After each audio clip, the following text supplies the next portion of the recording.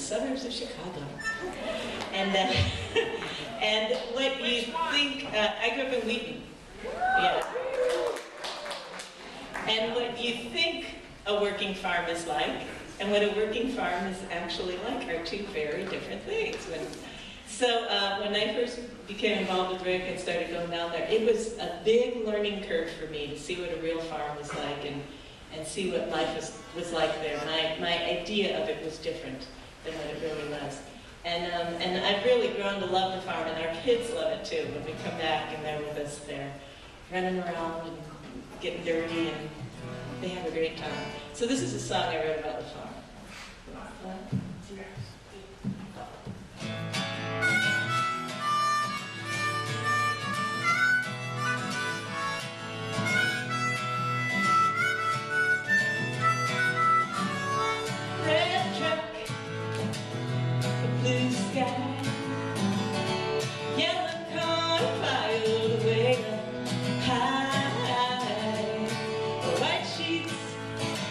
Won't you take me there? Won't you take me there? Won't you take me there with you?